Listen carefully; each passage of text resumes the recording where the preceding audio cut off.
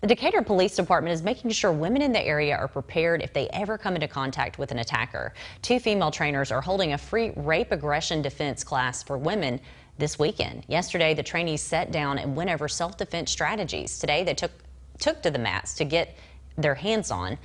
One participant says women should be able to confidently live their lives how they want.